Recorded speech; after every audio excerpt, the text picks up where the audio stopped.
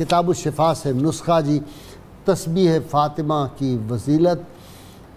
फरमान नबी सल्लल्लाहु अलैहि में हर फ़र्ज़ नमाज़ के बाद तैतीस बार सुबहान अल्लाह तैतीस बार अल्हम्दुलिल्लाह और चौंतीस बार अल्लाह अकबर पढ़कर हाथों पर दम करके जिस्म पर फेर लेने से हर किस्म की थकावट दूर हो जाती है और सुस्ती और गफलत का ख़ात्मा हो जाता है।